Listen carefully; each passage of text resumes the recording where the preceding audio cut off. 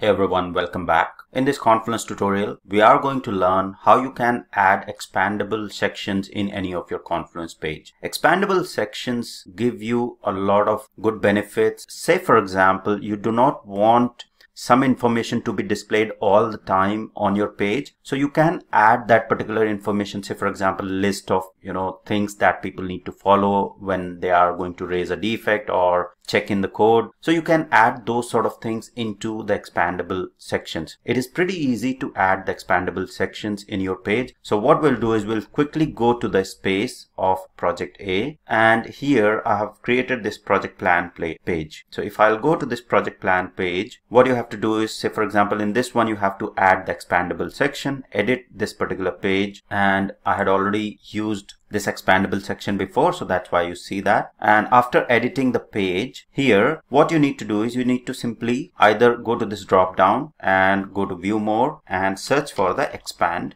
right? Okay if it is not visible here then simply it will be in somewhere here. Okay so you see this expand. So you can either insert from here okay or the shortcut is forward slash and say expand okay? You start typing expand and it will be listing here. You select that and paste all the key points. Say for example list of points that people need to follow or these are some of the key information that somebody needs to follow before raising defect. So you put all that information in the expandable section here and in the title you provide the title of this expandable section. So i will say read this information before raising defects. All right. So say for example people have to follow certain guidelines before they raise the defect or how to raise the defects. So certain points you want to specify there. And you do not want your page to have this lengthy information to be displayed all the time. So you can put it in the expandable section. Similarly if there is a de some development guidelines or the coding standards those sort of things you can put those in the expandable section. When you are once you are happy with that